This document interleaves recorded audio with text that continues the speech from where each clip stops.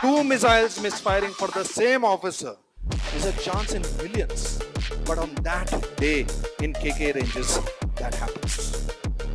And when this officer is completely dejected, he knows he is not going to pass out of that course with a missile pilot. Not his fault. Not at all his fault. That's the time Ustad Nair puts his hand on the shoulder of this officer and gives him a lesson that I want to share with you and I hope you will carry with you through your life.